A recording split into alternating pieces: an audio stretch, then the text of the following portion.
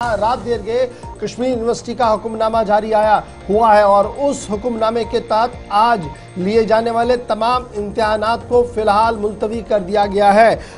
जम्मू कश्मीर के अंदर कश्मीर यूनिवर्सिटी ने आज जो इम्तहान होने थे, कश्मीर सूबे के अंदर जो कश्मीर यूनिवर्सिटी के इम्तहान होने थे, वो तमाम इम्तहान आज मुलतवी कर दिए गए हैं और यूनिवर्सिटी इंतज़ामिया की तरफ़ से ये साफ़ कर दिया गया है कि इन इम्तहानों के रिशेड्यूल के हवाले दोबारा से लेने के हवाले से जो डिटेल कम्युनिकेशन है, वो अलग से जारी की जाएगी। यानी अब डिटेल्स इम्तहान के दोबारा से आएँगे। नोटिफिकेशन कल रात देर गए जारी कर दी गई थी, जिसमें यह साफ़ कर दिया गया था कि जितने भी ख्वाहिशमंद तलबा है, जिनका आज यूनिवर्सिटी एग्ज़ाम होना था, तीस नवंबर सन 2024 को वो पोस्टपोन हो गया है और फ्रेश डेट्स नई डेट्स का ऐलान अलाहिदा नोटिफिकेशन के ज़रिए से किया जाएगा। कश्मीर यूनिवर्सिटी में लिए जाने वाले आज तमाम इम्तहान मुलतवी कर दिए गए हैं पोस्टपोन कर दिए गए हैं और ये साफ़ कर दिया गया है कि अलाहिदा तौर पर नोटिफिकेशन जारी की जाएगी, जिसके बाद इम्तहान का इम्तहानी तारीखों का ऐलान अलग से किया जाएगा। तो आज